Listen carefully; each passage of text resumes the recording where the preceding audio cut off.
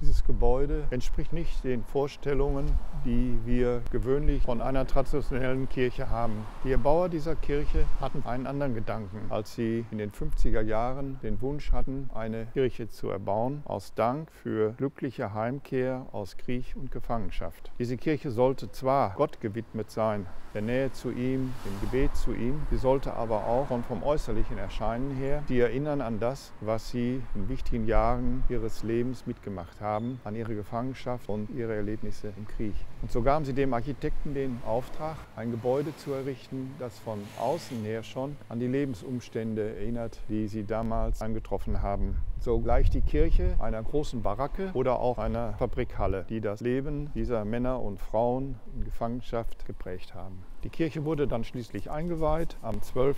Dezember 1959 durch den damaligen Bischof von Essen, Franz Hengsbach.